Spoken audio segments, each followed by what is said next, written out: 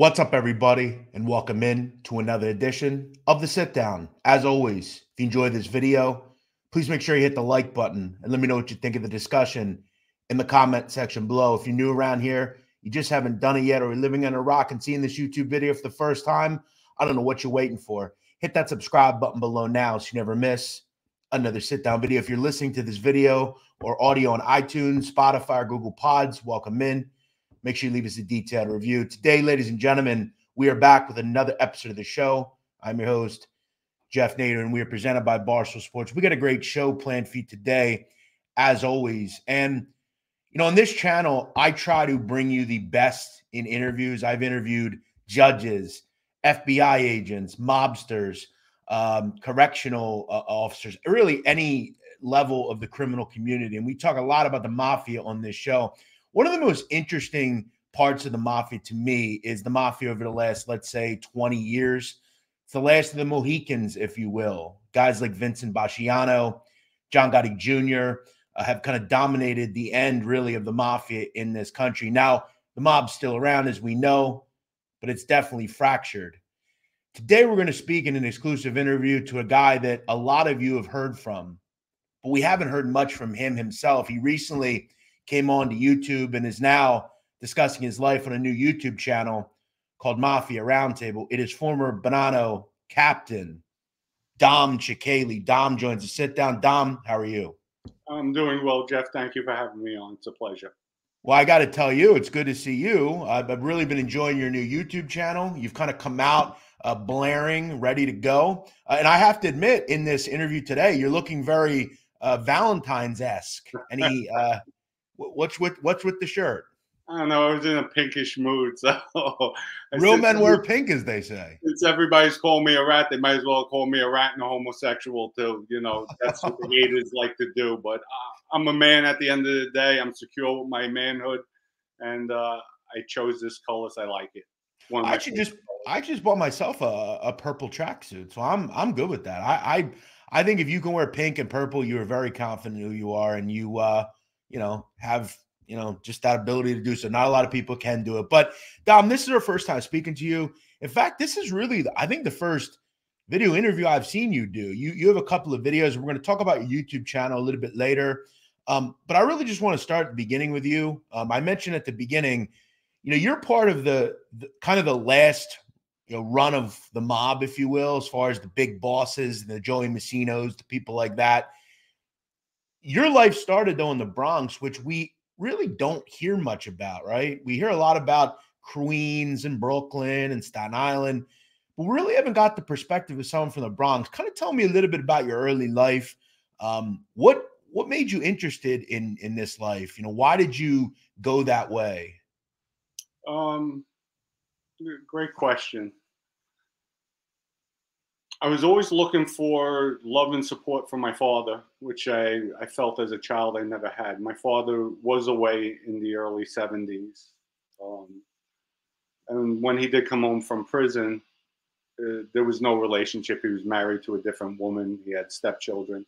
So his focus was on his new family. And uh, so I guess I veered towards the streets, maybe being a little rebellious. Um, and then one of his dear friends always supported me, was basically grooming me, and I had no clue of it. Like I, I wasn't even aware of it. But as I look back, he was grooming me uh, as far as to be strong in the streets. So the and to answer your question about the Bronx, the Bronx is a still to this day a tight knit area. Um, as I said, I think on my first podcast that to the best of my recollection, I'm the only cooperator of a high ranking stature.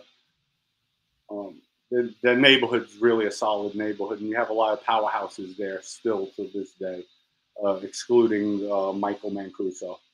Yeah, we're going to talk about him. Uh, he's been in the news a lot recently.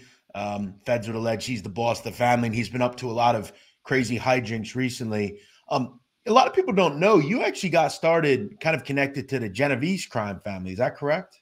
Yes, that is correct. I'm not going to mention the gentleman's names. I really, uh, and I might wait till after his passing to do any stories. But um, that was my father figure. He supported me when my father didn't in the streets. You know, there was times that my father came in yelling at me and threatening me, and this man actually uh, stood up and basically told my father, anybody puts their hands on this kid, at the time I might have been 17, 18 years old, um, they have to deal with me. So let, let everybody know out there, nobody touches this kid. And um, that's where, you know, I really gravitated to the streets. I finally felt I was accepted somewhere. Um, and it's a sad situation too, because in school I loved my sports. Was great at basketball, baseball, pitching. Um, but I just didn't have that guidance and support. Some people could do it without a father figure, but I felt looking back that I needed that. I was one of the individuals that needed that support and somebody behind me, pushing me, teaching me, and I didn't have it. So, do you think if do you think if your dad was around, say he wasn't in prison, he wasn't someone that was in the street doing things, do you think if he were around, do you think you would have uh, went into that world? I'm not sure because even with him being out on the street, he was never there for me, even when he was home. Let's say he was a regular father, like he was there, you had dinner every night, he taught you the way in the world, you know, like most, like a lot of fathers do. I, I know there's some that don't, but let's say he were around. You you come across to me as someone who is pretty intelligent. You you've done things after that world that that that are pretty impressive you kind of seem to me as if you just had some guidance, which is what you're saying on the good guidance side, you probably would have not went into that life. Absolutely, I wouldn't have went into the life because I even look at even I'll use Vinny Basciano for example. His sons, they all at one time emulated Vinny. So I see that a lot when I look at father-son relationships. Even LeBron James, his sons, they're emulating him with the basketball. So yes, if I had a, a father that was maybe an attorney or a hardworking man, not even an attorney, a hardworking man with uh, hardcore value, not hardcore, but proper values, uh, to give me that guidance where, hey, Dom, you should save some of your money. Dom, look, watch out for the rainy days. Dom, invest your money. Uh, because all this, what I'm saying I'm doing now, I started in my 40s once I was released from actually when I was with Vinny, I was doing that. And then obviously now with my change of life, getting out of the mob, I do it even more so. I'm out over 10 years now and I don't even have a parking ticket, knock on wood. Um, I mean, I'm, and I had, you'll hear in future podcasts, Jeff, that I've been tempted, had a lot of things go wrong with me, um, a lot. And uh, I just persevered. I kept my head held up high and I just swore I wouldn't go back to that life of violence. I wouldn't hurt anybody.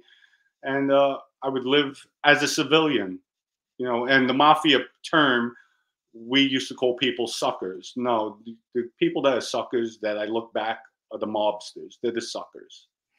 Now let me ask you something. Um, you obviously um did do a lot of bad things. I mean, I don't think you'll ever say you didn't.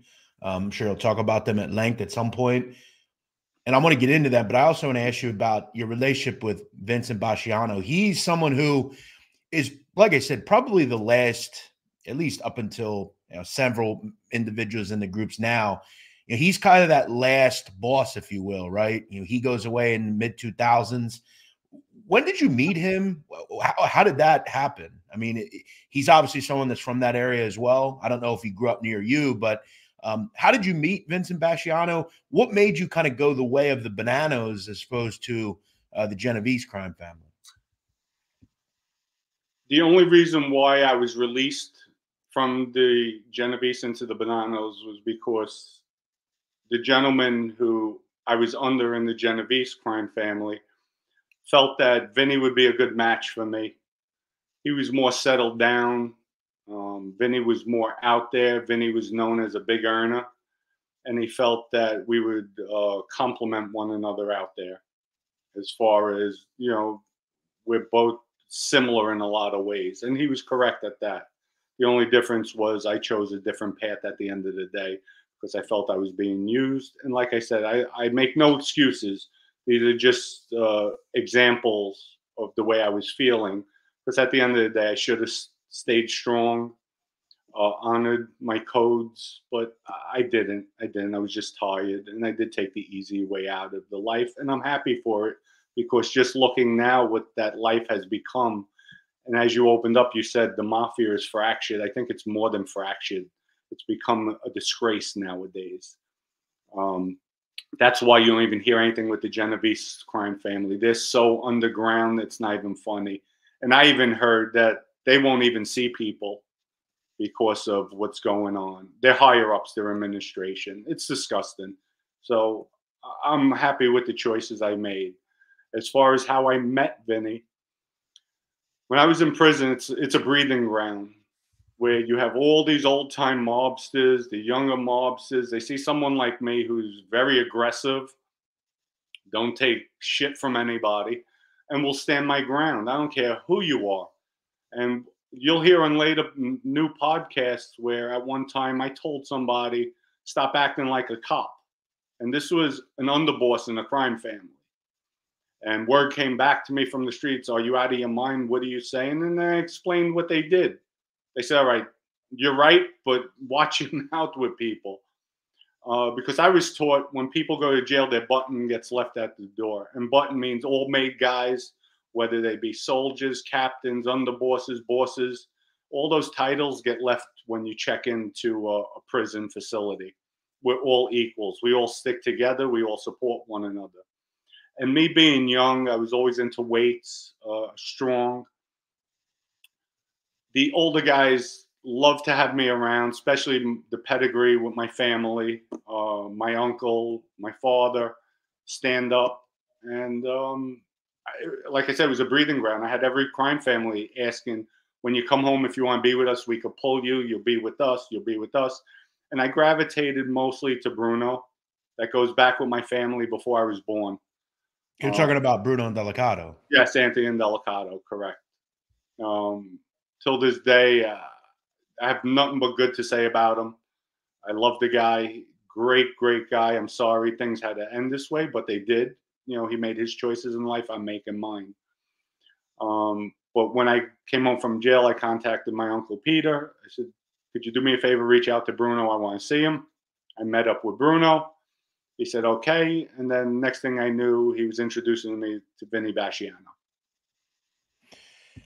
Bruno recently got out, uh, did a long stretch in prison. Um, I, I guess my my question on him is, what do you think he would say to you today? Bruno's comical. Bruno's comical. I know he'd be upset, uh, shaking his head. I don't. What I want to say, I'm not gonna say because I don't want to tarnish him in any way, shape, or form. But um, I love the guy. Great guy, stand up. He's a man's man's man. And, yeah. Um, just a great guy. I had a lot of fun with him, a lot of laughs with him. You know, if he had to, just like any mobster, they, they'd put a bullet in the back of my head in a second. Now, he, you know, it is what it is at the end of the day. And he's true to that life. But if he met up with me in a public place or happened to see me, uh, you know, I'm sure he's not going to make a scene. He's a man.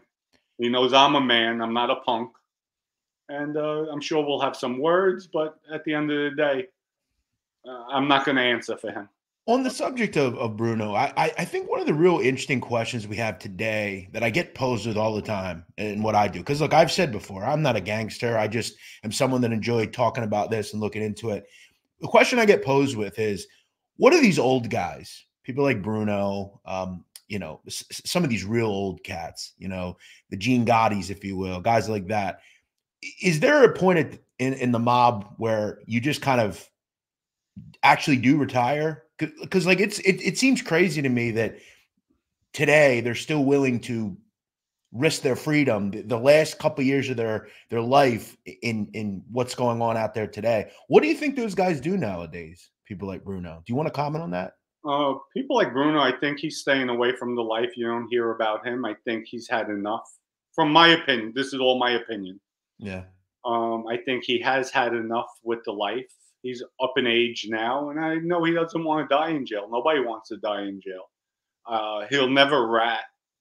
So he knows the next time he gets put away, it is a death sentence for him. And I think he's intelligent enough. He has some people around him, legitimate people, big, big money, where he'll utilize those people, their contacts, some funds, and just live about live a proper life. Stay away from the BS of the mafia because guys like Michael Mancuso, he'll get the whole damn family jammed up. Um, he's just a buffoon.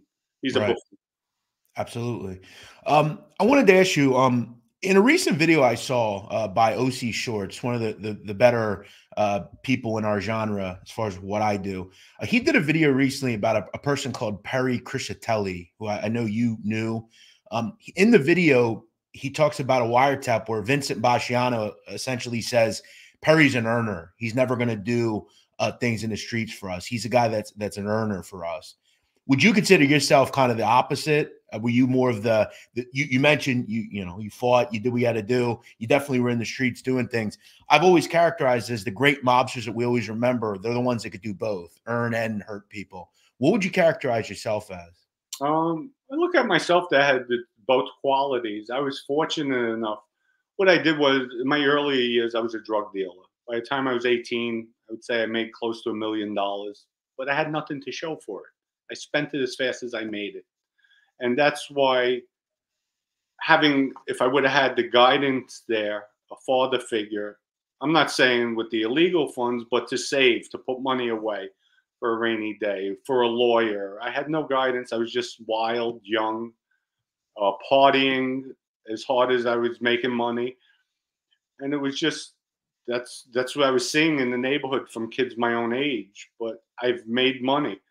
Uh, so what I did was when I came home, and people don't know this, but I did 10 years for a crime I didn't commit. That'll that'll be in a later podcast with myself. Did my time, and while I was sitting away, trust me, it was eating me inside that, you know, I was set up. I was actually set up. I did not do the crime, and I swore I'm not going to be that thug on the street. It's easy to be a thug. It's simple. It takes no brains to pull a trigger, none at all, or stab somebody or baseball bat. I felt I'm going to use all my skills that I had from the street, from selling firecrackers, cocaine, heroin, crack, everything, whatever you could think of, I would sell. I'm going to put it to legitimate businesses. So when I came home, I went in the tile marble terrazzo union. I grabbed an old timer after working six months as a helper. Uh, asked him how to read blueprints. He taught me. I, my first job was the Hunts Point Meat Market with my own company. And then from there, I had other friends building homes. I started getting involved with homes. Then you give them the exclusivities to real real estate offices. I said, no, why am I going to pay them 10, 15,000 a house to sell when I could do it myself? I opened up my own real estate office. And from there, a bar lounge, an auto repair shop, uh, and it goes on.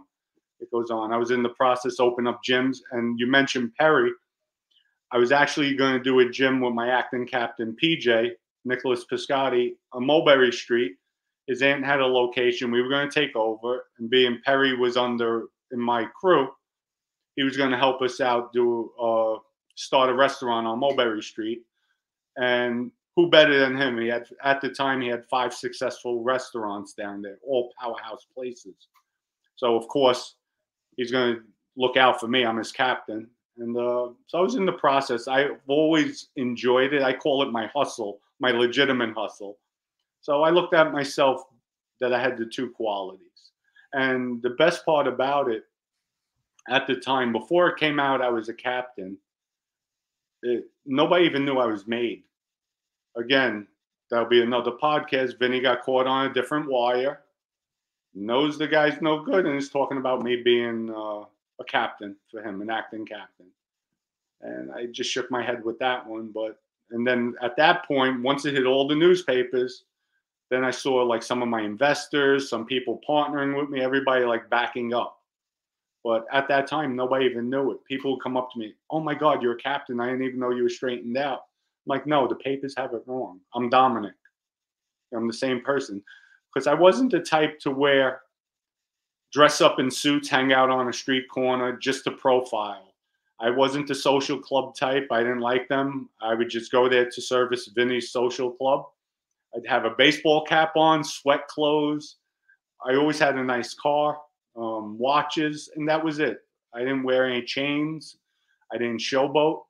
Now, don't get me wrong. If I'd go out, it would always be in Manhattan or in neighborhoods that don't know me, and I would dress up. More than likely, I would have a car.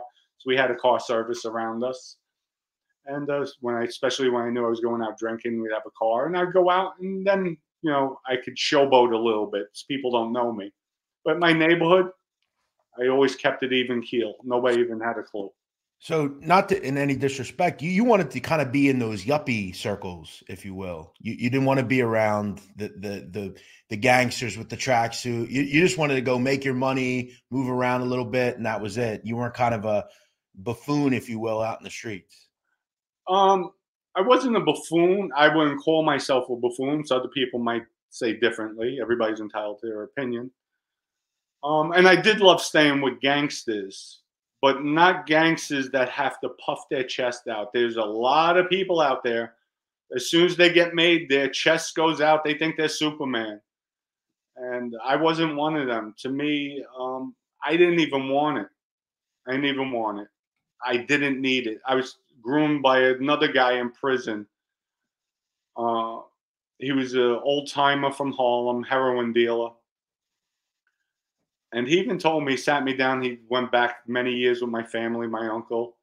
He was like, Dom, you don't need that life. You're a man. As long as you stand up for yourself, it doesn't matter. You could go up against any wise guy. If they disrespect your manhood, you stick up for yourself because you'll always have your day in court where you sit down.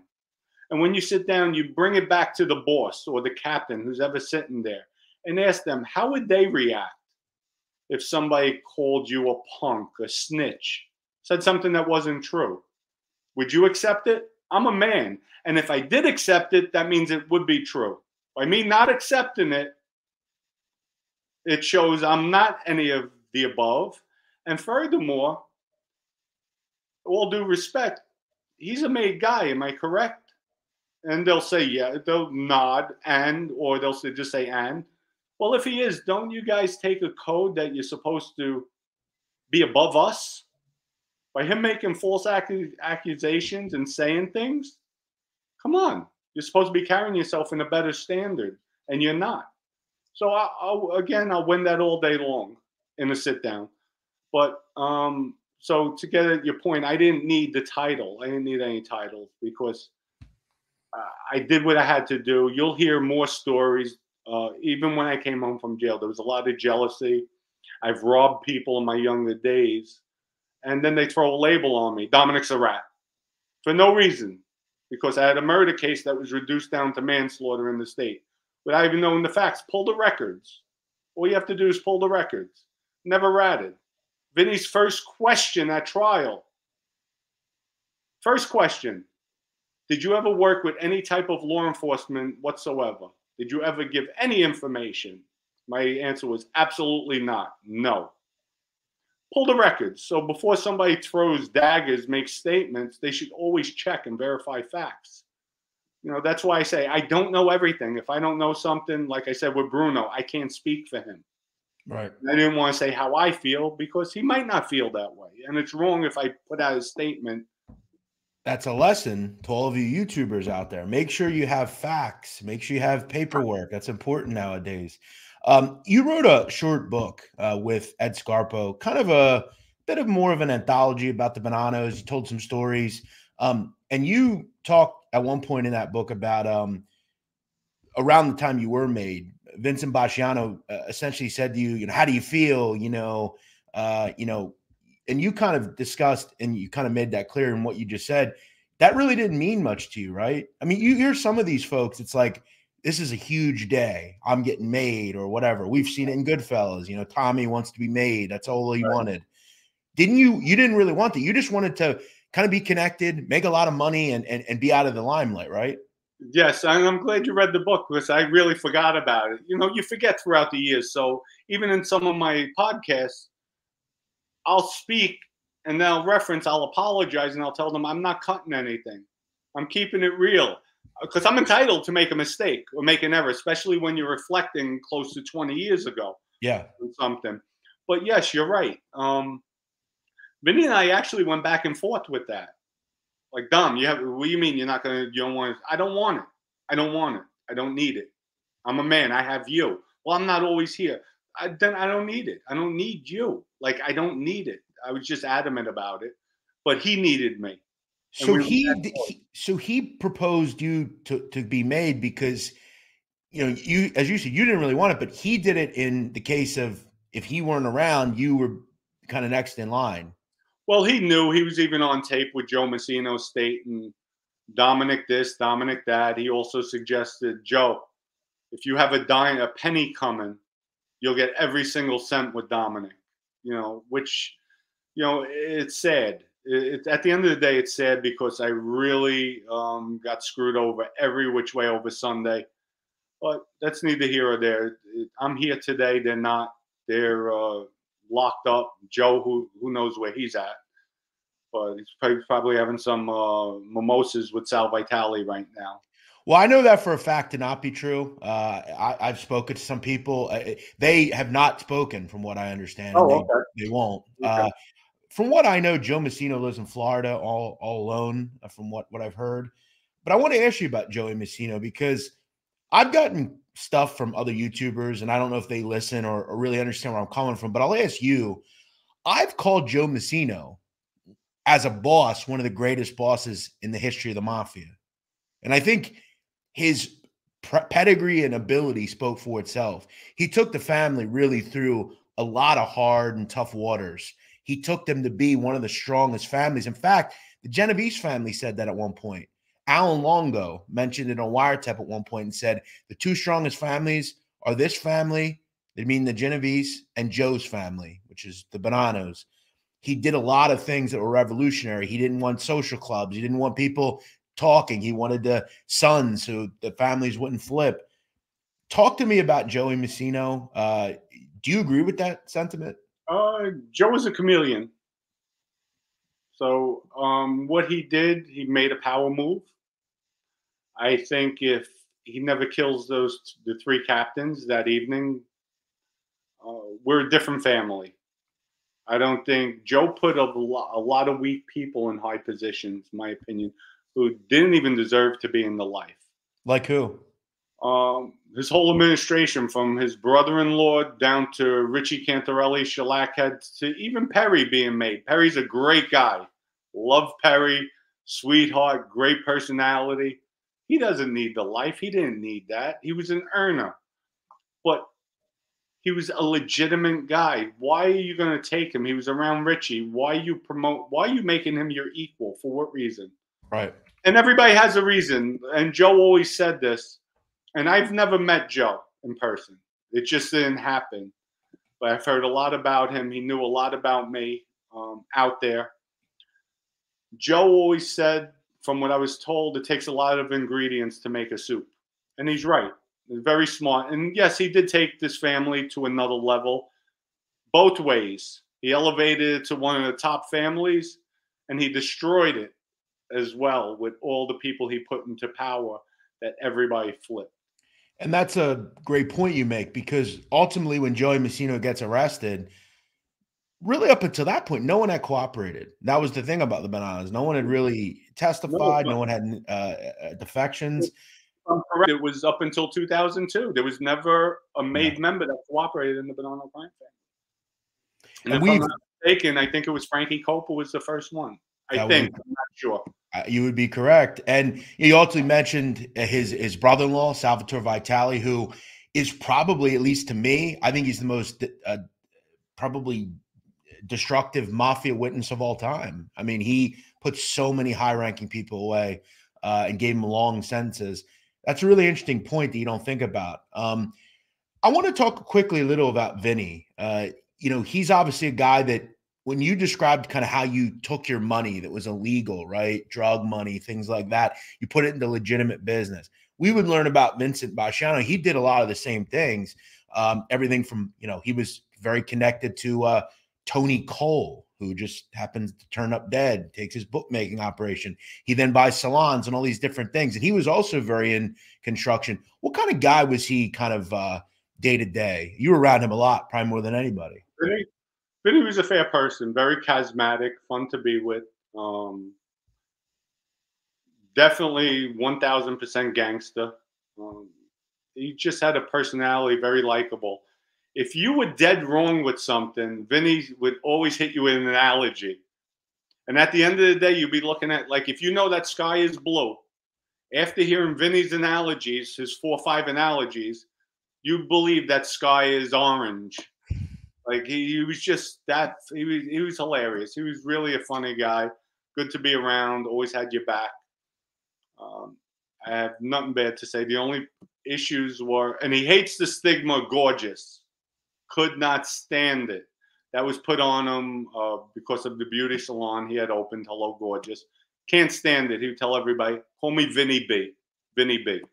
And you you also said in that book that no one ever called him that to his face, right? Is that kind of a norm? You know, we hear about these mob nicknames all the time, right? You know, we hear, you know, I've heard um Stephen Crea. Uh, nobody calls him Wonder Boy. That was a, a name that the, the, media put on him. These names, I mean, a lot of the time they're not actually used in, in real life. Um, you know, no one called John Gotti the Dapper Don, you know, in real life. Um, you mentioned no one ever called him Vinny Gorgeous, right?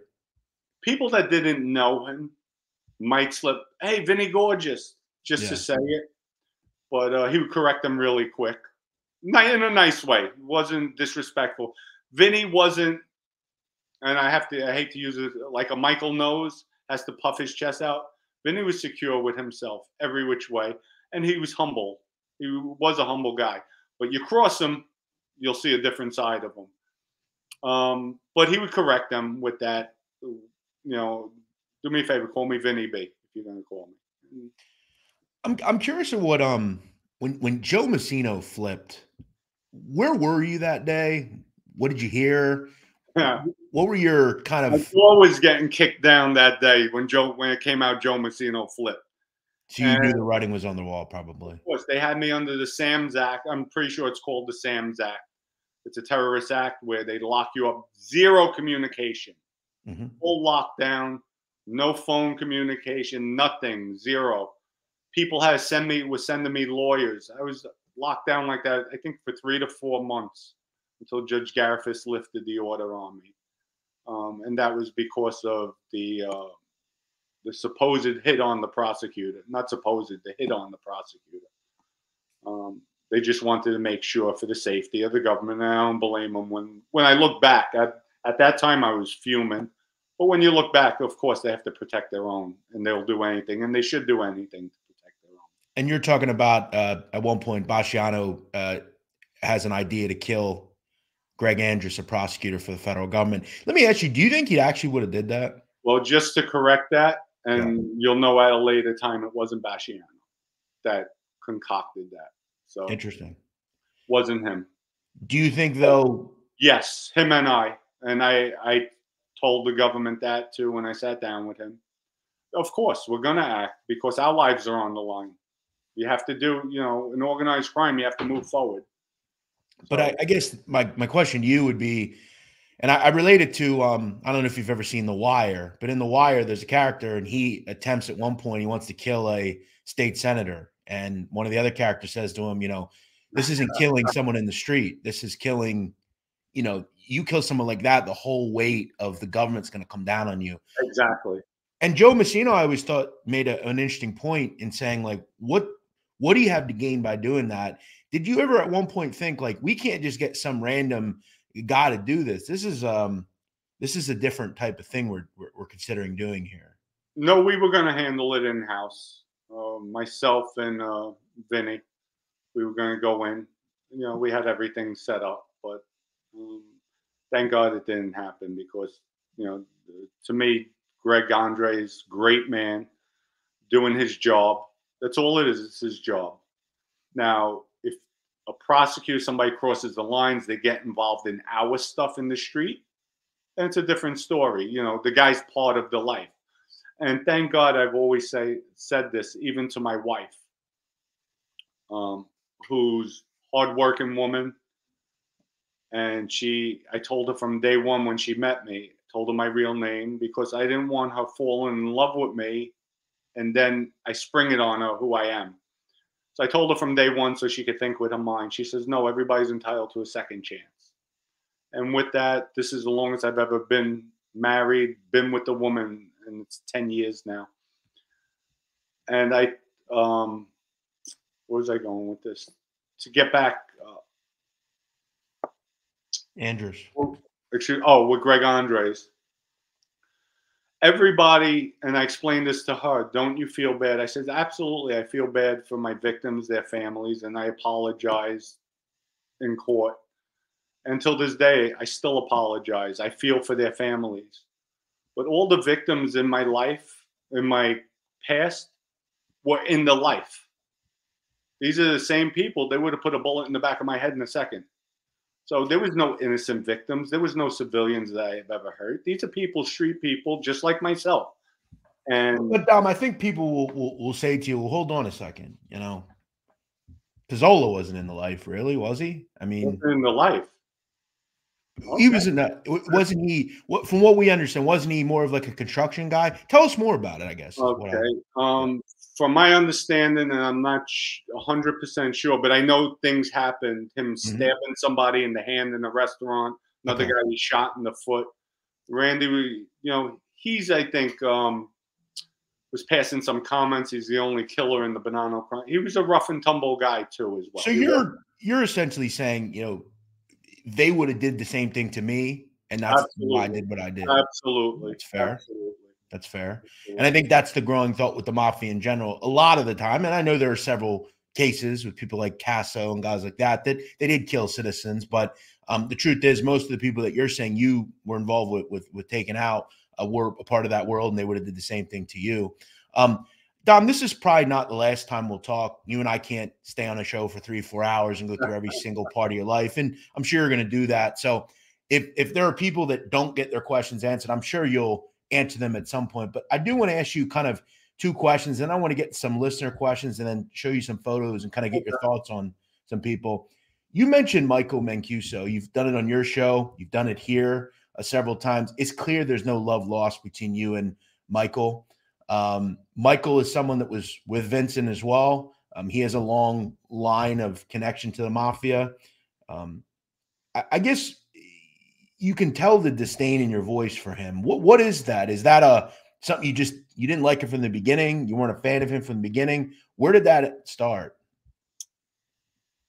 When I first came home from prison uh, the second time, and I met Vinny, I was in the neighborhood, and I had the ability. I made money, legitimately, legitimate. I would throw things at Vinny. Let's do this. No, let's do that. No, let's do legitimate businesses. Finally, after about the 80th thing I asked him, he said yes.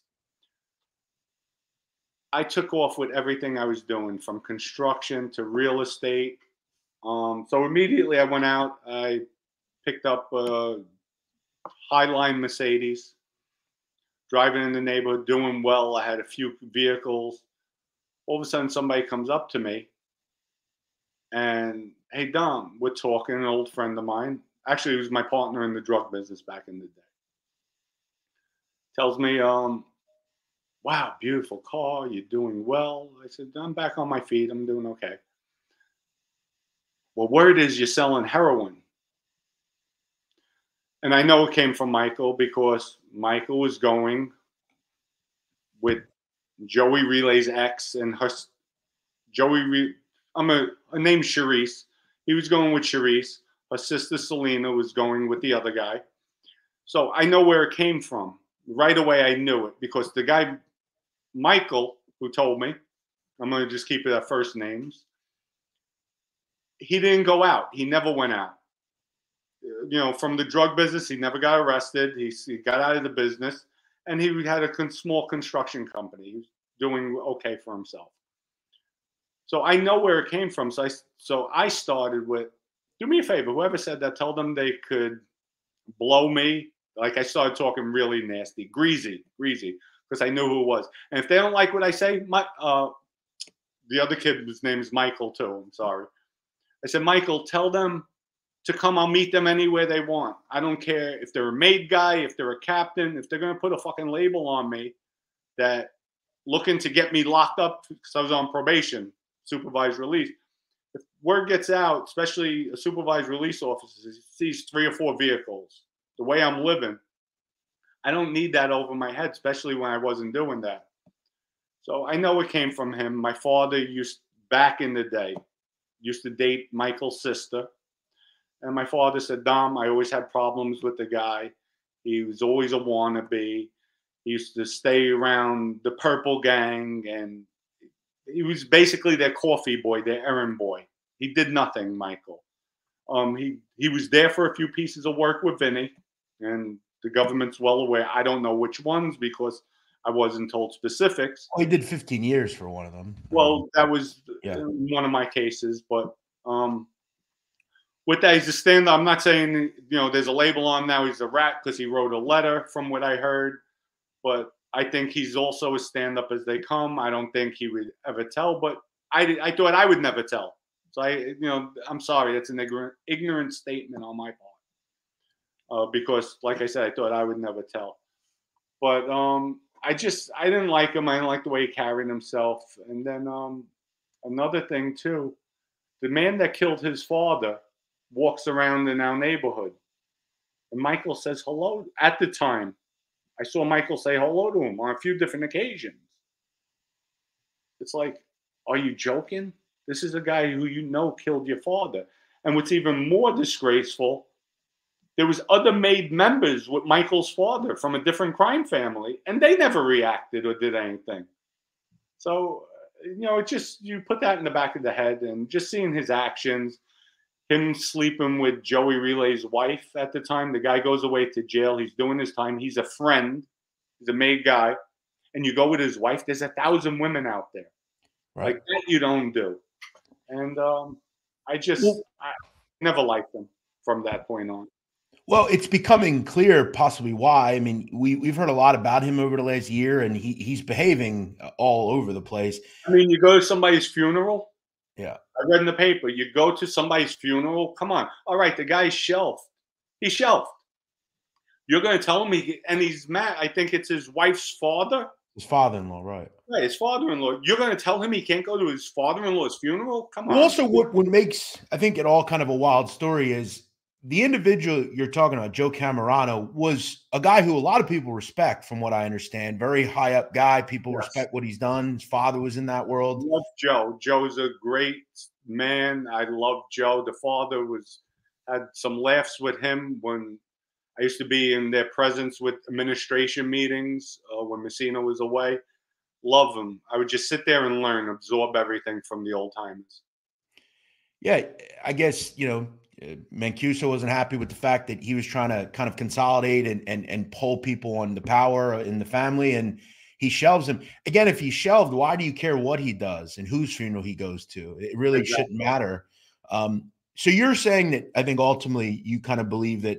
Do you think he's going to do something that's going to ruin that family more than it already has been? Uh, I don't even know if people respect him. You know, I, I just I don't see it. I don't see it the family was just devastated. I know, and I've always said this when I cooperated. And then we said Mike, we knew Michael was an acting boss. I said Vinny's the new boss of that family. And until this day, I still believe it. Um, Vinny might not have the title of official boss, but Michael got in that position as a, as noted by the papers and everybody else as official boss with Vinny's backing. Without Vinny's backing, Michael never gets that. So are you? And I'm not putting words in your mouth. I'm just asking you. So are you essentially saying that you believe he's still pulling the strings? I'm not saying he's pulling strings anymore because they have him. I'm sure they have him highly monitored where he's at. I mean, but, he's not at ADX anymore. Which, which no, is, I know, but still, he's. um I don't. He's not pulling any strings. But at the time, I'm sure he sent word out back in the day. Make sure you know, he had the he, Michael just didn't get that spot because sure he was a nice guy or he was feared or he was well respected. A lot of people out there don't like Mike. Michael's in way over his head. Put it that way. That's what I hear. That, that's it. That's it in a nutshell. Last question, and then I'll we'll have some fun here. Um, you obviously, I'm sure people will watch this and say, "Well, how's this guy on the street?" You obviously cooperated. You've said that. Um, At what point did you decide you were going to do that? Because you said at one point you you thought that would be something you would never do, and we always hear that. You know, I'm sure no one ever thought Joe Massino would cooperate. I'm sure we, no. you know, I'm sure there was a time whether he wants to admit it or not. You know, John Gotti Jr. never probably thought he'd sit down with the government and tell them things. Um, right. what, what, when did you decide to do that? And and you're really just saying you did it because they were kind of backdooring you in, in a way, right? everything that was going on with me from taking away my support level. Okay, I have a, a crew out there, guys. I'm a captain. I have an acting captain. I'm arrested. My acting captain's still there. He's supposed to be running my crew, taking care of my crew, servicing them. And this that's my support. So if I need help, if I need financial support, my construction project's finished, I go to my members. Michael dismantled everything on me. They even told Vinny, "What's going on? Like, why is it being? I'm not. I didn't receive life. Wasn't even found guilty yet. He did this all within, I would say, the first week that I was locked up. Um, from there, and I'll just give you one, one statement. The Christmas before I got locked up, I collected about three hundred and sixty thousand dollars in Christmas contributions, let's say. I had concrete companies, plumbers, just all giving me envelopes because throughout the year, if my plumber would come to me, Dom, uh, I'm not getting paid on this job. All right, let me see what I could do. Make sure he gets paid. You know, I would make sure he got his money. Concrete company, Dom, I have somebody owes me thirty-five thousand. Let me see what I could do. All of a sudden, Dom, thank you. They're on a payment plan. They're giving me five thousand a month. Okay, no problem. So at Christmas time, everybody shows their appreciation. I took all that money. I was with Louis DeCicco, gave it all to Joe Massino, Vinny Basciano. That Louis said, Are you crazy? Why are you giving them everything? I said, Because they're in jail. This is Vinny's first Christmas away. Let their families have a good time. Let them, you know, show. I'll make it up through the year, throughout the year. You know, I'll just take a little extra on my part. So he says, all right, good move, smart move. Then all of a sudden, I'm, I get popped in January. I'm sitting in jail, going through. I mean, they took everything from me, little by little, started losing things. I came out of the hole, my mother's contacting me. Dom, I have to claim bankruptcy. No, she didn't say that. She says, Dom, what do I do? They're calling. So I had a lot of rental properties. I'm not going to say who, but they kept all the rent money you're talking out of the four months, maybe two hundred thousand dollars in rents. I said, "Ma, just claim bankruptcy. Don't worry about it." When that next Christmas came around, they sent my girl thirty five hundred dollars. I turned around and I said, "You know what? I'm done." And this was weeks before Vinny's first trial. Weeks. I call my attorney, tell them I'm done. Walk me in. And that was it. I was done. The hardest thing that was the hardest decision I ever had to make in my life. And it broke my heart when I left. So I was with Quiet Dom. We were together that whole year. And Quiet Dom the acting boss of the Genovese crime family. And it broke my heart when I had to leave him because he even said, Dom, it's a fucking disgrace what they're doing to you on the street. And he knows he's from our neighborhood, he's from the Bronx. So with that, I just it was time for me to change, turn my ways around, and uh, and hope I can make a better life for myself. I could acclimate myself, my ways. But usually, when I do something, it's hundred and ten percent. That's why I excelled so um, so well in the mob. I advanced so quickly because I gave it hundred and ten percent. I was there twenty four seven. I mean Vinny and I would have walk talks at three in the morning. He'd come to my house in the rain. We'd get out and walk when serious things happened that had to be done. Uh, whatever needed to be done was on call all the time. So. so you feel you felt like you gave your all to that life and it didn't give much back. That and everything I do in life, I always give my all. I'm 110% with everything. Do you um, think um do you think if let's say they they did take care of you, your mom, your girl, Think you would have did what you did? Absolutely not. Absolutely wow. not. And I'm not using it as an excuse. So you would have you would have went to you would have went to prison for life. You were good Listen, with that. I would like I told Vinny, help me, let me liquidate. Because when the government got me, number one, I just gave Vinny and Joe three hundred and sixty thousand dollars. All my cash was in my construction projects. Vinny, do me a favor. Vinny owed me personally a million dollars. Do me a favor. Make sure all my projects get completed. I was about 90% completed on them. Make sure they get completed. We'll flip them out. And then I'm liquid maybe about $10 million. I'm going to throw $2 million into our legal fees. If I get life, fuck it. I get life. I'm sitting on $8 million. My two children are taken care of, and I can live like a king the rest of my life. I don't want to be doing life in jail with nothing. With nothing, especially when this was mine. Now, don't get me wrong if I and for the record, if I never had anything that they didn't take anything away, it wasn't the money. I would have stayed in jail. I would have did my life broke. So I never had it. But when you're taking from me and I'm in jail for the crime family, where's the loyalty? Right. No, loyalty, it, works, loyalty works both ways, Jeff. I think it makes total sense, man. I, I I've always, you know, and I, I haven't always had the whole, you know, I, you know, the rat thing. I I don't I don't know if it's something I would do, but again, I'm not in that position, so I can't really talk about it. But when you talk about it the way you are, it, it definitely paints the picture of they didn't give a fuck about you, so why should you give a fuck and about listen, them? I know we have to move on. One more thing. Yeah. Jeffrey Lichtman was my attorney. He represented El Chapo and yep. John Gotti Jr. So yeah. powerful attorney. Oh yeah. Vinny's selling a house. I have a piece of the house. He's supposed to give me a hundred thousand. Now, well, I could give you 50. I have legal bills. Okay, I understand that. Do me a favor, send the 50 to Jeffrey because I have to get him paid. Weeks go by because they had us separated. When we have our next meeting, I asked Jeffrey, Did you get the money? Jeffrey's like, No, Vinny didn't send me anything. I asked Vinny, What happened? Well, my son had an altercation in the street, had a fight. I had to give the 50,000 to his lawyer. I'm looking at the death penalty because of this family and what happened to our oath when we take the oath? The mafia family comes first, comes right. before our intern, our, our biological family. Right. So, so what, what is it, Vinny? So we don't come first? This is my money. I'm looking at the death penalty because of this family, and you're worried about an assault charge for your son. So the fifty thousand went there.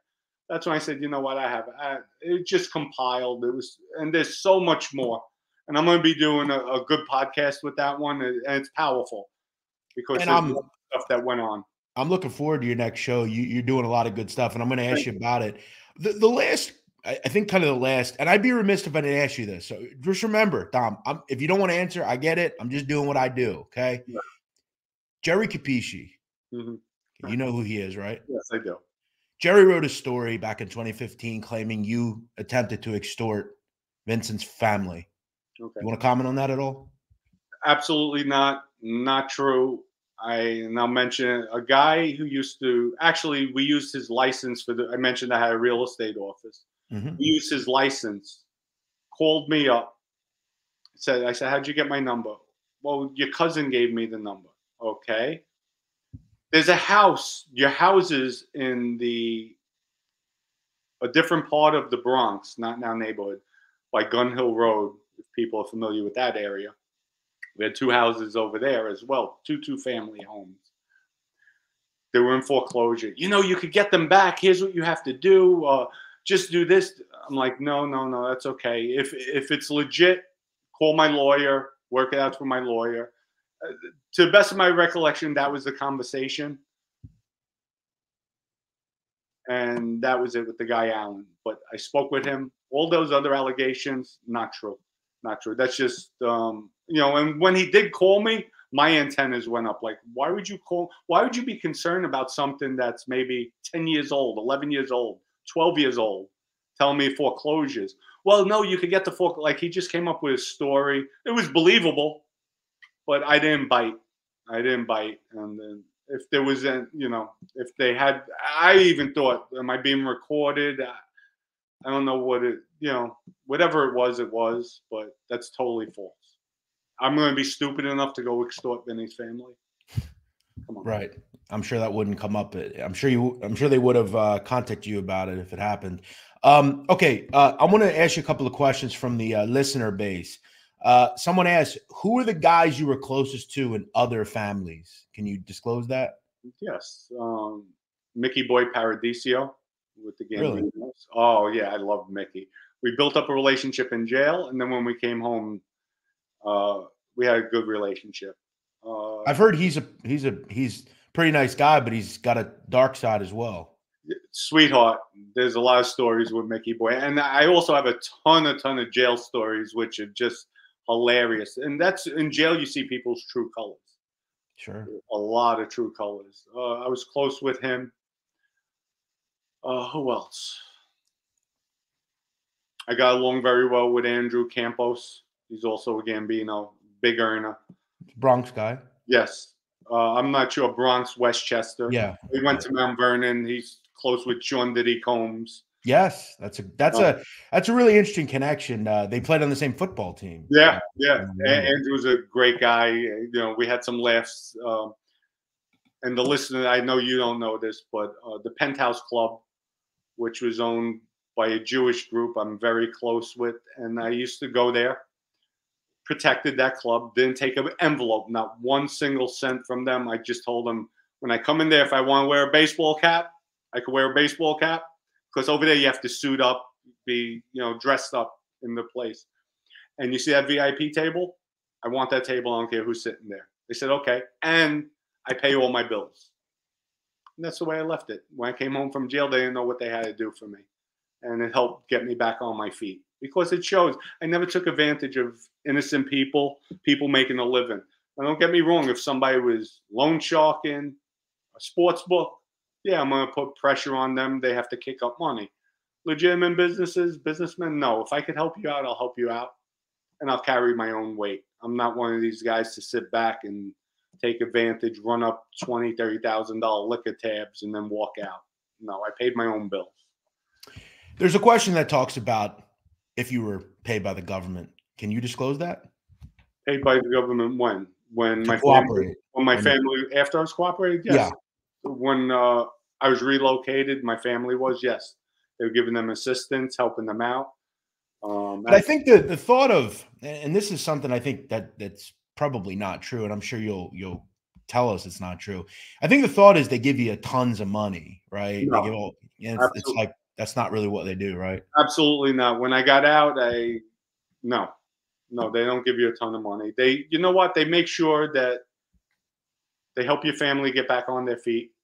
Not not back on their feet, but they're living. They have a place, uh, a roof over their head, food on the table, and then you have to look for jobs, you know, to work. They Mhm. only do it for so long until you go into the witness protection program, and then over there it's it's full blown. That's where they have all the resources, where they really help you out. There's another one. Uh, can you ask Dom what type of money he was making as a capo, and where were Vincent Basciano's number spots, and how lucrative were those businesses? Uh, also, was he involved with Vinny's drug business? Uh, Vinny was out of the drug business after the Blue Thunder case. Oh Yep. no, let me correct that. When I met Vinny, they were getting stuff from Canada, him and Bruno, and I'll go into that at a later date. But they were bringing in drugs. Towards the end of it, we weren't touching any drugs whatsoever, uh, and that's when Vinny started rising up in the ranks.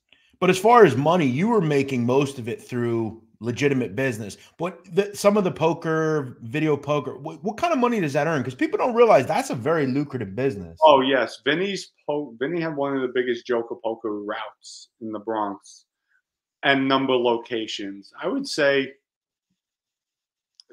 uh, Now, mind you, this is I'm going back a long time, so I might be inaccurate. So I'm going to give you just a ballpark, no, a big ballpark, and I would say it was anywhere from maybe forty to maybe eighty thousand dollars a month. Wow. Um, you know, And that's just one rack. because some months you're going to get hit with the numbers, but he had really a, a massive, massive business. He really did. Um, Let me ask you, um, just on that through. and I could be wrong with that ballpark because I'm looking, you know, it's it's a while, and that question came out of the blue. So yeah, I, one quick question: uh, in I think it was 2018, 2019, there was an individual in the Bronx, Sally Dazzatola, killed. A lot of people wondered who it was. Essentially, it was proven that his son had him killed. Did you ever meet him? Uh, I know he was very involved with that business. I knew- love Sally. I love Sally. Great, great guy. Even his family. Till this day, I'm shocked. Put it this way: all fingers point to the son. With tapes, with uh, not tapes, text messages. yeah, I still don't believe it. That's how close that family was.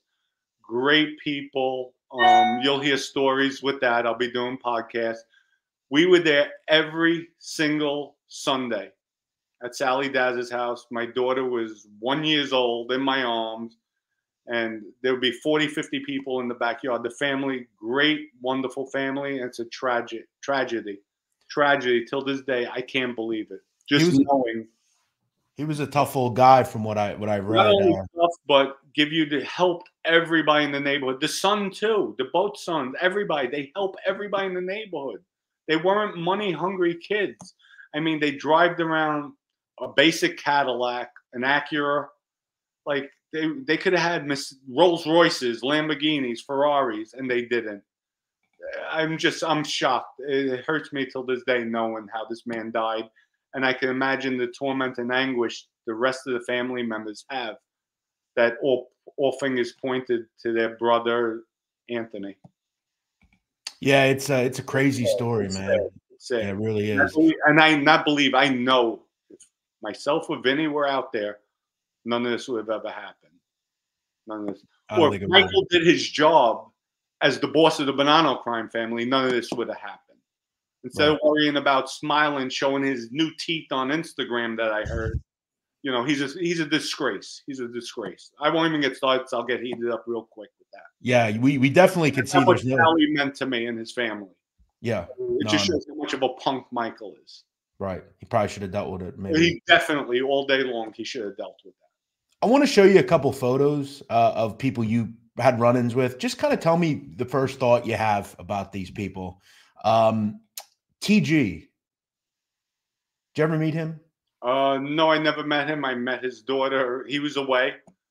Um, that's another hilarious story when I met Renee in uh, Rayos. But no, I never met him. I heard a lot about him. I heard, you know, he was just a knockaround guy, always comical, fun. You told, um, and I'm hoping you'll tell us quickly the story, just in a roundabout way. Uh, and I think you know where I'm going with this. No, I don't. I don't. I'm, I'm smiling because you're smiling. no, no, because I, I have to admit, uh, Dom, this to me is one of the most classic stories I've ever heard about the mafia, and I can almost see it. Uh, tell me a little bit about this guy, Oh, Tony Green. I love him. I love him. Funny, funny, funny. Wow, look at that hair. oh, I love him. Great guy. I hope he stays away from everybody. He just got out recently. I know, man's man. eh, great. I have more funny stories with him, Tony. Hilarious, especially when I first saw him. I'm not even gonna go. in- I can't go into it. Can you can you just eh, like cliff notes? Tell us the story about when you and Vinny are waiting for him, and he gets out of the Hummer. Okay, I'll just you briefly. He comes out of Tony was a workout buff. Tony always young. He's about 80 now. I don't know what he looks like now. But in those pitches, and correct me if I'm wrong, Jeff, he's about 70. No, I think he's 85. No, but in that picture you just oh yeah, I think that's yeah, that was probably 15, 20 years always ago. stand up, white, funny guy, smart. Um, he came out of his car and I'm like, I'm looking. I look at Vinny. Vinny looks at me. I'm like, Vinny, no, don't. Bo, what the fuck is he wearing? And he has gym tights on, like the tight spandex that the guy, the bodybuilders wear. Yeah. Uh, Oh my god, he's the acting boss. Oh, we're fucked. And Vinny and I listen. There's more to the story. I don't want to give it away, but great guy. I came out of the car. I said, Vinny, don't do it to me, because Vinny said at the time I wasn't straightened out. He's like, come on, come meet him. Vinny, no. Dom, get out of the car. I'm not getting out of the car. So as we're walking, I told you. Vinny's talking on the but I told you, look, look, look, look at his balls. Look at his balls. Like, you know, because the, the, the spandex he's wearing. Yeah. Like, really, fuck you. Fuck, like we're we're just talking and we're walking. We're maybe about a football yard away, and as we're getting closer, it was just it was hilarious. But a great guy, great, great guy. You know, I don't know. I know The Sopranos, right? Is is a lot of the characters are based loosely, parts of them on certain people. And and as I've watched The Sopranos, and I, I hear more and more stories about Tony Urso, I he he doesn't remind you, does he kind of remind you of Paulie Walnuts a bit? Like just like he's a single guy, he's pretty good with women, you know, all he cares about is how he looks. He, you know, he kind of reminds me a bit of him a bit. But 20 times funnier. I mean, it's just just his actions and sometimes things that come out of his mouth. What got him jammed up, he wanted to kill the rat's sons. He passed the comment, Yeah. we should kill the rats, the guys who ratted their mm-hmm. sons. He- Yep. Tony never even meant that. It was just out of jest. You know, sometimes you say stupid things. That was Blown off thing steam, that- right? and it's sad that he got he had to do he wound up getting jammed up for that it was just a, we should like he just something stupid. I guess I have frustration. I have all the disappointment because he knew these guys. Hmm you know and then who who got stuck with the guys? Me. They were in my crew. So now when i had to meet them everything was very gingerly because you know after assured them guys nothing's going to happen to you guys and you know i give you my word. You don't have to come in. Like i wanted them to feel comfortable but you're still part of this family you have any problems let me know i'm here for you we can meet in any public place you want i'm not going to call you in the middle of the night just to let them know to assure that they're safe. But Tony Green just said that I guess out of anger, frustration, hurt Yeah. that his- so many people cooperated. It makes sense. I mean, he had been around the life forever. Yeah, he wasn't. He wasn't. He didn't have a. He wasn't that type of guy. He wasn't like a uh, a gas pipe. I will say, uh, you know, he'd never do it. Um, there are very few people I'd I'd like to interview more than, him. I, I would love to speak to him. I'm sure he has some fascinating stories. He's Oh, probably a, a trip. That oh, he is. He is, and you'll. We'll talk about it later on on another show with you. Well, if he's ever if he ever sees this, Tony, give me a call. I'll pay you a thousand dollars for a half hour. Uh, All right, I got a few more. Um, George from Canada. Did you ever meet him? No, never met him. Um, his demise came prior to me. Uh, his daughter uh, was dating Vinny's son, Vincent. So they had a relationship, but I never got to meet the father. I heard uh, wonderful things about him. Vinny, I know, was sick, sick, sick, sick about him getting killed. Sick. Do you believe that had to do? George. Love George. There, there's always questions as to why he was killed. Several people believe it was because Joe Massino thought he was a power threat. and Exactly. Yes. Some sir. people. So you don't believe the fact that it was because he called uh, Tony Graziano a junkie? Absolutely not. Absolutely not. Is it a known fact that he was a junkie? people you take terminologies wrong. He did coke. Okay. Every, listen, ninety percent of the guys, you sit down with them. Hey, do you ever do? Oh, I never did coke. Meanwhile, they're coming out of the bathroom. Hey, you have white stuff on your nose. What do you mean? Like So you're saying that's a norm? all. Listen, like I said, ninety percent of the guys you have street, we're street guys. We're, Yeah. we're not saints. We're not priests where everything's proper. We knock around guys. So come on, we're in the life, of course. So did he do coke? Absolutely. Was he a junkie? I wouldn't go that far. Uh, uh, but it depends on everybody's terminology of a junkie. Yeah, I wouldn't characterize someone who does Right. coke socially as a junkie. A- Right. A, a junkie is someone who shoots heroin in their arm. No, you know, not even shoots heroin. Who parties all the time, sells everything they own, can't get off the drugs. Yeah, someone who's in an alley you know, All this- selling themselves. Right. Correct. Sure. Yeah. Correct. Absolutely. But no, he didn't get killed for that. Joe Massino feared anybody with power. That's why I said he's a chameleon. Like he brought the family to higher levels, to a stat stature that was unheard of. He brought it out of basically the dark ages. And then he also destroyed it at the end of the day by putting all garbage in the administration. And then he put the whipped cream with the cherry on top by wearing a wire and ratting. Especially at his age. Like, really? Come on. Very You'll- destructive. You'll, you'll be a legend. Well, now you're a legend too, but in a different sense. But In a bad everybody does it does their things for their own reasons. So I'm not knocking it. Maybe I feel a little bitter because that brought me in with Vinny.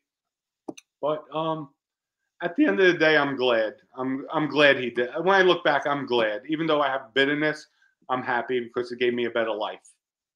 I got two more people for you. Um, you mentioned in that book as well uh, that this guy, uh, Richard Cantarella, uh, he did at one point he would wear Hugo Boss, uh, you know, jumpsuits, if you will. And y- you made a comment that at one point he said, "See that? That's going to be me someday." No, not me someday. This is me. This oh is yeah, okay. pointing like he's the boss. He's uh, another guy, comical. Just um, him and his son. I mean, two guys never should have been in the life. Big money earners, big big money earners. I'll give them that. But you just just the brief meetings with him with Vinny. You know, even I'm like Vinny. I don't like this guy. He says, "Bo, me neither." But you know, we have to do what we have to do. You know, he's he's the captain, the family, and it is what it is. But he's a fuck. Vinny even says he's a fucking jerk off. He's telling me, "Look, boss, boss." Like, he's the boss. like just a jerk off. At one point, an underling would supposedly complain about his level of violence, to which Cantarella would say, "quote This is the mafia. I don't care." Is that true? Uh, if you could rephrase that, you lost me with the question. He essentially said, you know, he, you know, people were mad about the violence he was committing. He said, "This is the mafia. What do I care? You know, this is what I do." Basically, Uh, I don't know really what he did. It was before my time, so I can't answer that. Um, you know, listen, did he kill somebody? I don't know. Probably so. It's like I said, doesn't take a rocket science scientist to pull a trigger. Any dummy could do it. Yep. You know? So myself included. It's just you know, Mhm. it's not hard. It's easy when you you have a guy sitting in the car. You you're sitting in the back. You pull the gun out and you pop him in the head. It's simple. Or you walk them into a house where they don't know. Get into a gun battle in the street, then that's a gangster. Absolutely. me when bullet when somebody pulls on you and you're running, diving, or somebody says they're getting a gun and you're going after them, that's a gangster. Absolutely. That's setting somebody up. Setting that uh, anybody could do that. That's easy. Uh, one other one here. Um, Ace. Oh man, you hurt me with that one. Why do you say that? That's my heart. I love him. That's Ace. That's You Ace. called him at one point Luca Brasi. That was my Luca Brasi. We had more laughs and fun together. Uh, just, I tried when I came in to cooperate. I didn't want to testify on him. I asked the government, no, you have, Dom, worry about yourself. That's all I was told. Worry about yourself because there's the door. Um, he's a big boy. If he wants to come in, he know. I mean, he's a man's man. I love him. I, I feel for him and his family, his mother, his brother who is autistic. I'm just uh, till this day it breaks my heart with Ace, knowing if he had the opportunity, he'd probably try to take me out if he was ordered to. Sure. Um, but I, I mean, we were close. We were very, very close. Real quick on him. So I've I've done videos on him. I've done videos on his counterparts. Um, he was from Queens though. He was a, a Giannini kid. I'm correct, How- Ridgewood, right? Ridgewood, correct. Ridgewood. Yeah. How did you get affiliated with those guys? Did they just they were just kind of I know a lot of the, the Giannini crew is interesting because they were kind of a farm team and some became informants, some you know went to prison, some became, you know, today they're they're they're made guys. How did you get affiliated with him? Because his cousin or uh Joe the uh, Giuseppe Gambino was also around you guys. Yes. Um, I think it was Ace, Anthony Aiello, Joey Gambini, and I think Mike the Butcher. I don't know his last name. They met Bruno when they were in jail. Okay. And Bruno told Vinny and I, I have some guys I want you to meet. Ace came in. Uh, we met them all in the restaurant, steakhouse in Manhattan. And then uh, after they left, I told them, I says, Vinny and I, I like Ace. I like the way he conducted himself. And then uh, from there, Vinny said, get close with him. So I got close with him. I'd call him, he'd come.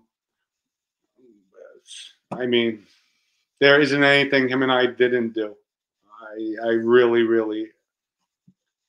There's there'll be a lot of podcasts with Ace and and funny ones too because we had as much damage we did out there as as much fun we also had out there. Absolutely. All right, before we uh, kind of promote your your content and, and, get you out of here, I have one final question. I usually ask this to every person Uh-oh. that was involved with that life.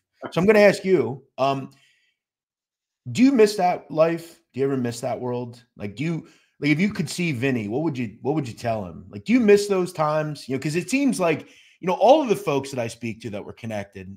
There's a there's a sadness to them to me, um, and and to you, it seems like you have it as well. You you're kind of wrestling with the fact that you didn't really want to do what you did, but you had to do it because you knew in the end it was going to be the best decision for you and your family.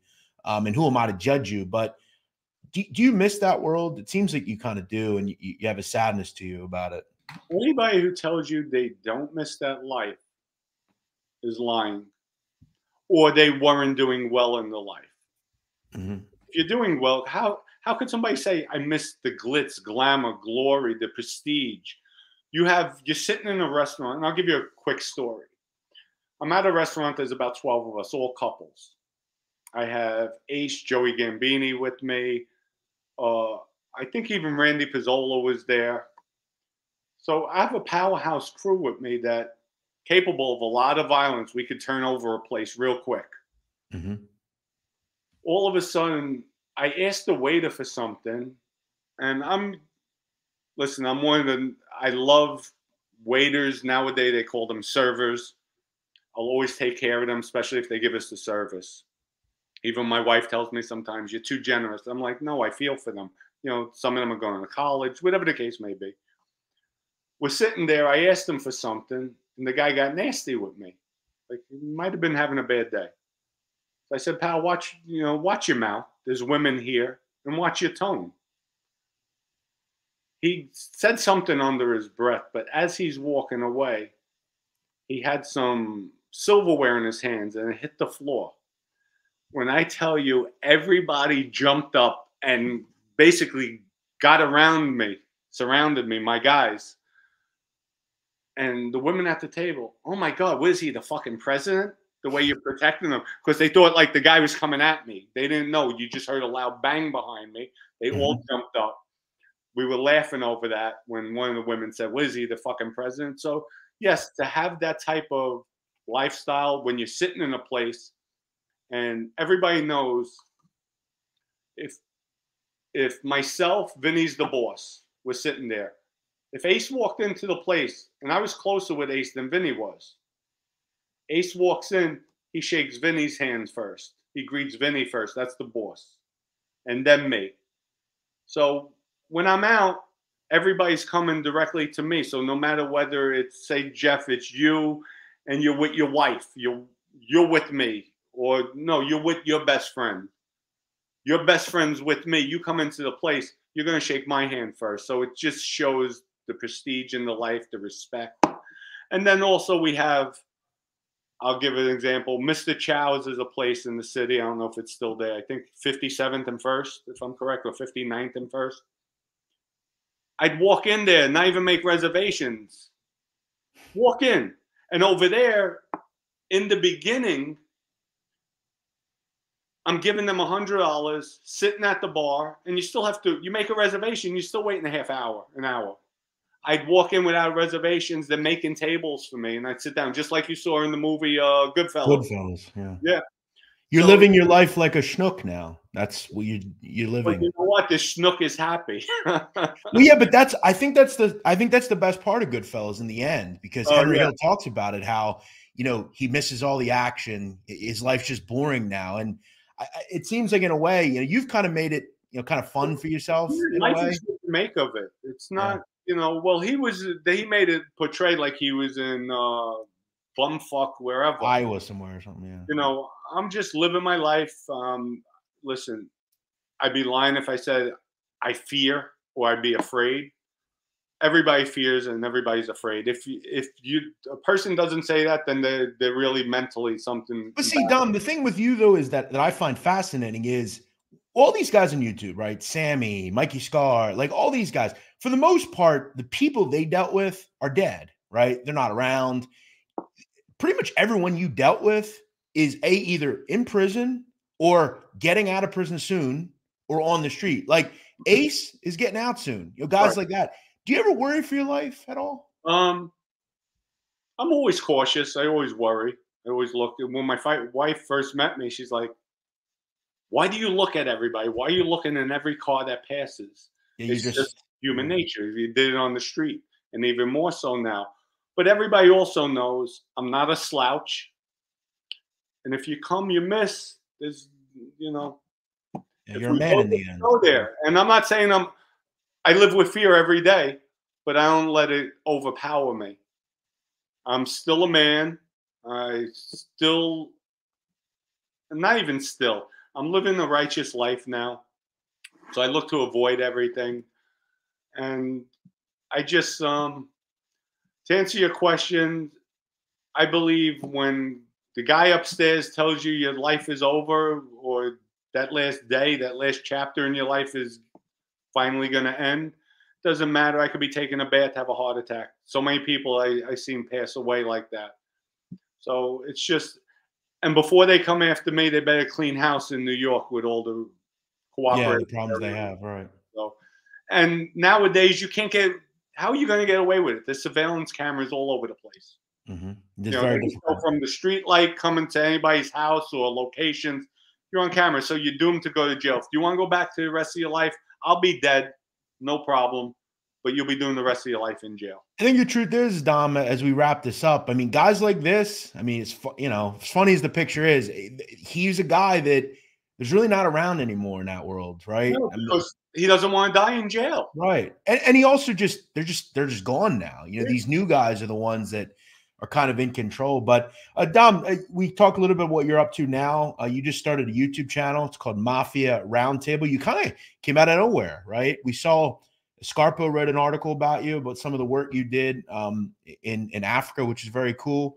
Um, but now you're talking about your life on on YouTube. What can we expect from it? Um, I'm going to put a link if and I I promoted it last week. I think it was two weeks ago. And thank you, Jeff. Thank you for you that. Got it. And, and I urge anyone if you're not subscribed in the description of the video, go go click on it and go subscribe. I think, like I said, we're going to learn some obviously a lot of good stories, but this is such a, a view that we really haven't seen. I mean, we've heard how many times have we heard the same John Gotti stories, you know, or or or, or Vinny Gigante. You know, the the Bonannos are a group that we haven't heard a whole whole lot about as far as at least from the Bronx. So, what are you going to do on the channel? What What are your plans? Well, listen, I had a lot of interactions also with all the other crime families too, from Lucchese's to Gambinos to Colombos. So, um, stay tuned. There's a lot that's going to come out that's never been heard before. I'm always going to keep everything straight. I answer everybody's questions when they send it in that um, I like it. I want to feel the pulse of the audience out there, accommodate. And being I've been doing that, I'm changing up my format. So I want to accommodate the listeners um, to go out there and also tell a story. Uh, I also love rap music. And like I said, I'm having fun. If some I don't claim to be a rapper, people tell me, Dom, what are you doing? You're a serious guy. Yeah, I'm serious, but I'm having fun. So if somebody's having a bad day, they say, let me see what this idiot Dominick Cicale just did. And they hit on the rap, but they're miserable. They're pissed. They had an argument with their wife. They hear it and they start laughing. I did my job. I did my job. It's a joke. I'm having fun. And if it goes somewhere, it goes somewhere. If not, so be it. I'm just being me. And I want to clarify something because I made a statement in one of my videos about people, mobsters dancing at weddings. And everybody takes, I guess I'm starting to learn, I'm new to this and I apologize. But everybody takes it as I meant dancing with your wife, a slow dance, nice. No, you're allowed to do that. Not getting up and doing the Macarena and all that if you're a made guy, looking re- like the way the mafia looks at that, that's ridiculous. But it's not ridiculous. They're having fun. But dances like that, when I said the mafia doesn't like people dancing, dancing the Macarena or whatever other trains they do at weddings, dancing like that. But you're allowed to dance with your wife, a slow dance, and you know, respectfully. Gotcha. Not have a few drinks and then all of a sudden you're, you're doing some crazy stuff, right? Okay. But I want to be me. I want the people to see me for who I am, now I'm not governed by the mafia anymore, so I could do whatever I want to do. Dom, is it true? Uh, and I promise this is the last question, but no, go ahead. I'm okay. I'm, I'm really curious about this because you mentioned dancing at weddings, which you know is something we don't hear much about as far as like crazy funny dancing. And and I believe this was in that book that you and Scarpa wrote. Is it actually true that? And I can't believe I'm going to ask this, yeah. but is it actually true that you know cunnilingus eating pussy is taboo in that world? Oh, they say that. Yes. But listen, is that actually because we, we saw in Sopranos and stuff? Is is that actually valid? The ones, of course, you can't listen. All right, I'll give you another one. I mean, it, it, I'm going to mention his name because he's really a, just a, another idiot. I'm not even going to call him a buffoon. He's an idiot. Bruno's nephew was supposed to be another one. We're straightened out. We're sitting down. We're, we're with him. We're sitting down. His name's Alley Boy right there. I'm pretty sure it's Alley Boy. We're sitting down at a table. We're in the restaurant. Vinny's hitting him with 99 questions. Finally, I don't know if it was the liquor talking. He turns around and tells Vinny, Vinny, Bruno, myself, all right, guys, I'm going to go home now and eat my wife's pussy. I went, oh my God. Vinny, like, I looked at Vinny. Bruno's like, turned his head, when he left, Bo, are you fucking kidding me? Like, you, you had to be there. Like, this guy's never getting straightened out. No, these are things you don't say. You don't talk about bedrooms. And the guys who advocate about that, you know, they want to make a point and point. They're probably the biggest lappers of, of, of us all. They're probably in there every night scuba diving down there. So it's it's not supposed to be spoken about. So you're you're essentially saying that everyone does it. Come on, really? Don't, don't speak That's about like it. Saying nobody does drugs in the mafia. Yeah. So yeah. come on. Yeah, it's just more or less not talking about it and being a buffoon not about it. Talk about your sexual. No, it's different. You know, guys want to talk about, oh, I effed the shit out of her. I had a doggy style. It's different. Um, gotcha. But yeah, it's like a taboo thing to talk about. But every, come on. Everybody does it the guys that advocate, oh, I never did, I never did it. They're the first ones that do it. Like they're, they're that's what they're known for. So, well, I had to ask. Uh, no, good, good. Dom Cicale, good to see you. Uh, thank you for coming on. I, uh, I have been wanting to kind of speak to you, and I'm I'm thank you for for kind of uh, being so open with us. It means a lot. Um, I'm sure we'll speak to you again. Um, and like I said, go check out Dom's uh, YouTube channel. I really think it's going to be a, a fascinating look into the Bonanno families, other families as well. Um, thank you for coming on, Dom. I appreciate it. Jeff, no, thank you. And really, really, really, I appreciate the support when I first came out. I appreciate your honesty with things. And listen, I'm not going to speak for you, but from what I've seen, because I did my research before I came on to the show, watching your videos, people do get things wrong. But when you're continuously baiting, putting labels, or following through without doing any research, which I know you don't do. You you basically Listen, Dom, it's impossible for me to get every single point. But right. you have the bottom, you have the trolls out there, the bottom feeders. It's just, it's disgusting. Like, do some research. You call yourself intelligent, you call me a buffoon, but I'm here being honest. I'm being straightforward. There's always three sides to a story, I was told yours, mine, and in the middle, you'll find the truth so with that, um, Jeff, again, thank you so much. I appreciate. It. Looking forward to coming back on your show, especially after I come out with new stuff that's never been heard before. I know your listeners are going to definitely, definitely have a ton of questions, and I'll it would be my pleasure coming on your show answering. Well, I think next time maybe we'll do it in person. Maybe I'll come down to wherever you are, and, and well, we'll I could come to you. Uh, we could we could figure it out. I'm uh, I don't know, and definitely. I appreciate it. Well, like I said, everybody, go check out the, the, the channel. I think you guys are really going to like it, and uh, yeah, it's good stuff. So thanks, Don, for coming on. We'll talk to you soon. All right. Thank you, Jeff. Have a wonderful evening. And as always, thanks everybody for watching. We'll see you next week here on the sit down.